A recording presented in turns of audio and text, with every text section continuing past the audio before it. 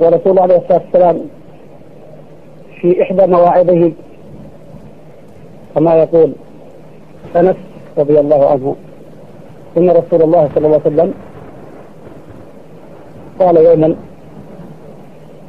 والذي نفسي بيده لو تعلمون ما أعلم لضحكتم قليلا. ولبكيتم كثيرا. ولخرجتم إلى السعدات فاجأرون حياة الناس الآن في فرح في فرح ومرح وبطر وأشر وغفل عن الله تبارك وتعالى. لماذا؟ لأنهم يجهلون ذلك الجهل المطلق بما أعده الله لهؤلاء الغافلين الفارين عن الله تبارك وتعالى. حتى الملتزمين الآن واقعون في غفلة. وفي شغل شاغل عن ذلك الشيء.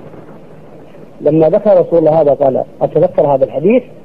لما قال هذا الكلام غطى أصحاب رسول الله صلى الله عليه وسلم وجوههم ولهم خنين بالبكاء رضوان الله عليهم.